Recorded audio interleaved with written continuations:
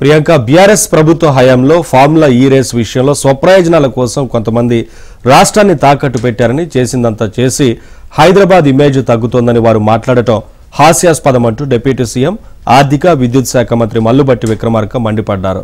పదేళ్ళ పాటు రాష్ట్రాన్ని పచ్చిగా అమ్మకానికి పెట్టిన మీరేనా? ఇలాంటి మాటలు మాట్లాడేదంటూ బీఆర్ఎస్ పై ధ్వజమెత్తారు. రేస్తో ఒప్పందం నిబంధనలకు పూర్తి విరుద్ధంగా జరిగిందంటూ పేర్కొన్నారు.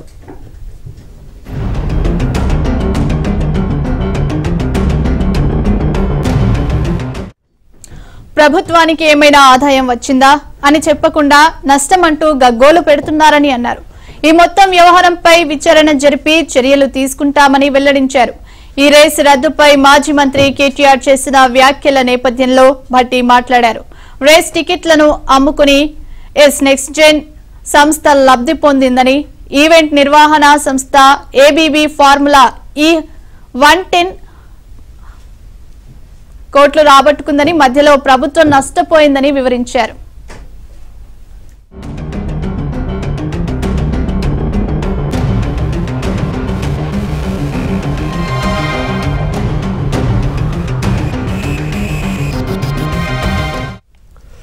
నాలుగు సీజన్ల కోసం రెండు వేల ఇరవై మూడు అక్టోబర్ ఇరవై రెండున ఏస్ నెక్స్ట్ జెన్ ఇటు ఫార్ములా ఈ కంపెనీ ప్రభుత్వానికి మధ్య ఒప్పందం జరిగిందన్నారు. ప్రభుత్వం తరపున హెచ్ఎండిఏ ఇరవై కోట్లు పెట్టి ట్రాక్ వేసిందని హైదరాబాద్ రేసింగ్ లిమిటెడ్ ముప్పై ఐదు కోట్లు ఖర్చు చేసిందని భట్టి తెలిపారు.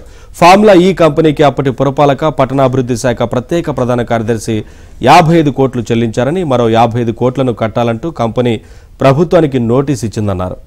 మొత్తంగా అప్డేట్స్ మా కరెస్పాండెంట్ నుమాన్ అడిగి తెలుసుకుందాం. నుమాన్ ఈ ఈ ఫార్ములా ఈ రేసింగ్కి సంబంధించిన వ్యవహారం ఇటు రెండు పార్టీల మధ్య కూడా తీవ్ర చర్చకు దారితీసింది కదా ఏంటి అప్డేట్స్? సైన్ ఫార్ములా ఈ రేస్ వ్యవహారం అయితే వివాదాస్పదంగా మారిందని చెప్పొచ్చు. ఫార్ములా ఈ రేస్ ఒప్పందం నిబంధనలకు విరుద్ధం అంటూ ఏదైతే డిప్యూటీ సీఎం బట్టి బట్టి విక్రమార్క స్పందించారు. సో ప్రైవేటు సంస్థలకు డబ్బు దక్కితే ప్రభుత్వం నష్టపోతుందంటూ కూడా ఆయన అన్నారు. సో ప్రధానంగా మనము చూడొచ్చు గత కొద్ది రోజుల నుంచి ఫార్ములా ఈ రేస్ వ్యవహారం మాత్రము చాలా చర్చనీయాంశంగా మారిందని చెప్పొచ్చు. ఎందుకంటే ఎందుకంటే ఫార్ములా ఈ రేస్కు సంబంధించినటువంటి నిర్వాహకులు గత ఐదు రోజుల క్రితము తాము ఈవెంట్ని రద్దు చేస్తున్నట్లు సో ప్రభుత్వానికి మున్సిపల్ శాఖకు ఏదైతే తాము నోటీసు కూడా ఇస్తున్నట్లు ఒప్పందాన్ని వద్ద- రద్దు చేయడంతో ఒప్పందాన్ని రద్దు చే రద్దు చేసుకుంటున్నామంటూ వెల్లడించడంతో ఒక్కసారిగా ఈ వివాదం వెలుగులోకి వచ్చినటువంటి పరిస్థితి. ఈ నేపథ్యంలో సో దీనికి బాధ్యులుగా ఉండి అప్పుడు ఏదైతే బీఆర్ఎస్ ప్రభుత్వంలో హెచ్ఎండిఏ కమిషనర్గా ఈ ఈవెంట్కు ముఖ్య నిర్వాహకులుగా ఉన్నటువంటి అరవింద్ కుమార్ సీనియర్ ఐఏఎస్ అధికారి అరవింద్ కుమార్కు ఏదైతే రాష్ట్ర ప్రభుత్వం మెమోను జారీ చేసింది సో ఈ నేపథ్యంలో ఆ, రాష్ట్రాన్ని ఆ, అమ్మకానికి పెట్టి ఇమేజ్ పడిపోతుందంటూ అంటారు అంటూ కూడా ఇప్పటికే ఇటు కాంగ్రెస్ నేతలు కూడా మండిపడుతున్నారు. ఈ మొత్తం వ్యవహారం తెర వెనుక ఎవరున్నారు ఏంటి అనేది దాని మీద కూడా ఆ తొందరలోనే బయటకు తీస్తామంటూ కూడా డిప్యూటీ సీఎం స్పందించారు. సో దాదాపు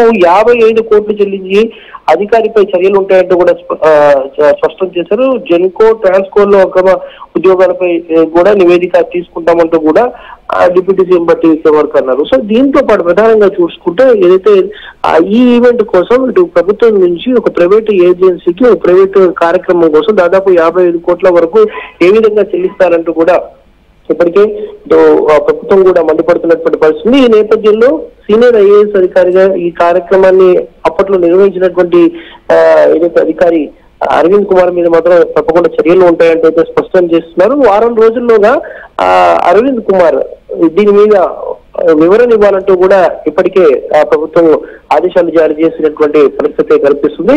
గత ఏడాది formula E race Hyderabad Hussain Sagar వేదికగా జరిగింది. సో ఈ నేపథ్యంలో ఈ ఈవెంట్ కోసం మొత్తం కూడా దాదాపు ఇటు ప్రభుత్వం నుంచి ఏదైతే యాభై ఐదు కోట్ల వరకు నిధులు కేటాయించారు ఈ కార్యక్రమం అంతా కూడా హెచ్ఎండిఏ ఆధ్వర్యంలో నిర్వహించినటువంటి పరిస్థితి. సో దాని తర్వాత ఇప్పుడు ప్రస్తుతం ప్రభుత్వం మారడము దాని తర్వాత పరిస్థితులంతా మారడంతో ఒకసారిగా ఆ ఈవెంట్ కూడా రద్దయినటువంటి పరిస్థితి సో ఈవెంట్ నిర్వాహకులు మాత్రం అంతర్జాతీయ స్థాయిలో తాము ఈవెంట్ నిర్వహించేటటువంటి ప్రాంతంలో సో ప్రతిసారి. అగ్రిమెంట్ చేసుకుంటాము సో అగ్రిమెంట్ ఒకసారిగా పక్కన పెట్టడంతో ఆ, ఏదైతే తాము మున్సిపల్ శాఖకు నోటీసులు ఇస్తామని కూడా గతంలో స్పష్టం చేసినటువంటి నేపథ్యంలో ఆ, సో దానికి బాధ్యులుగా ఉన్నటువంటి అప్పుడు ఏదైతే ఈ కార్యక్రమాన్ని మొత్తం నిర్వహించినటువంటి ఐఏఎస్ అధికారి అరవింద్ కుమార్కు మాత్రం ప్రస్తుతము మెమోలు ఇవ్వడం అయితే చర్చనీయాంశంగా మారినటువంటి పరిస్థితి. సో ఈ నేపథ్యంలో అరవింద్ కుమార్ మీద మాత్రము చర్యలు ఉంటాయంటూ కూడా ఇప్పటికే ఆ, చెప్తున్నారు. ప్రభుత్వం నుంచి కూడా